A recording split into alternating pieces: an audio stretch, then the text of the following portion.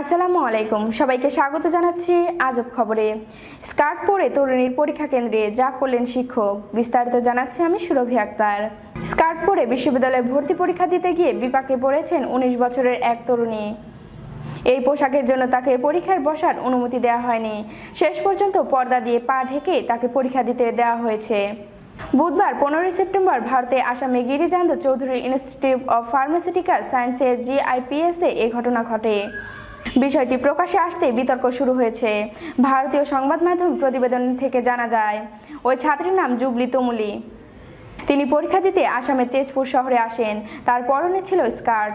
পরীক্ষা কেন্দ্রে প্রবেশের সময় সেখানে তাকে পরীক্ষার বাধার মুখে পড়তে হয়।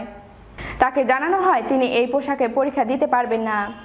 তাকে বলা হয়, পরীক্ষায় বসতে হলে পা ঢেকে প্যান্ট পরে আসতে হবে।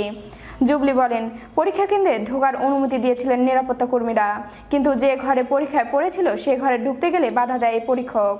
জুবলি বলেন, কৃষি বিশ্ববিদ্যালয়ের নিয়মে কোথাও বলা নেই, স্কার্ট পরে পরীক্ষায় বসা যাবে না। এমনকি অ্যাডমিট কার্ডেও সে কথা বলা নেই। কীভাবে জানব, স্কার্ট পরে পরীক্ষায় বসার অনুমতি দেওয়া হবে না। এতে তিনি প্রতিবাদ করেন। কিন্তু তাতেও কিছু হয়নি। পরে পরীক্ষা কেন্দ্রে থেকে কাঁদতে কাঁদতে বেরিয়ে আসেন ওই ছাত্রী। বিষয়টি তার বাবার কাছে জানান। জুবলি বলেন, বাবা তখনই পোশাকের দোকানে ছুটে যান। তিনি ফিরে আসতেই তাকে বলা হয়, সমস্যার সমাধান হয়েছে। তিনি জানান, পরীক্ষা কন্ট্রোলারের পদক্ষেপে তাকে একটা পর্দা দেওয়া হয়। সেটা দিয়ে পা ঢেকে পরীক্ষা দেন তিনি। জুবলি জানান, এটা তার জীবনের সবচেয়ে অপমানজনক অভিজ্ঞতা। এতক্ষণ সাথে থাকার জন্য সকলকে ধন্যবাদ।